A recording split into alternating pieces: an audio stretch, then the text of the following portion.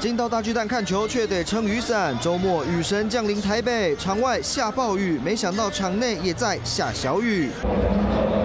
漏水漏到球场里，球员热身到一半，看着水滴试一下弹指神功，连玩了好几回，只是苦中作乐。漏水画面曝光，是否也笑不出来？因为算一算，这已经是大巨蛋第六次漏水，距离国庆晚会剩下不到两周，议员也看不下去。难道要让这些各国邀请来的元首、外宾、代表、大使，在坐在大巨蛋里面撑着雨伞来听将会的歌声吗？优先针对。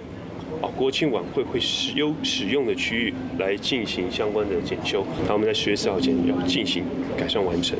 市长下令优先处理大面积漏水，剩余部分也要求远雄得在十月底前改善。但大巨蛋启用至今，同样问题不断发生。议员提议交给第三方勘验，并要求市府严格审查。抓漏的问题也经过了一年了，还是到现在目前还是没有看到。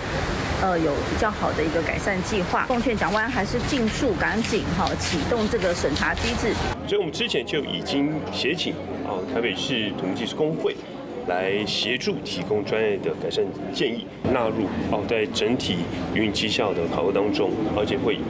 严格的进行考核。百亿室内球场屋顶却破洞，市长亲自盯进度，就盼能把问题根治，否则落下的恐怕不止雨滴，还有市民对大巨蛋的信心。华视新闻张振陈一伟台报道。Hello，我是林明瑞，想要抢先掌握最及时的新闻资讯吗？赶快订阅、按赞、开启小铃铛，锁定我们华视新闻的 YouTube 频道。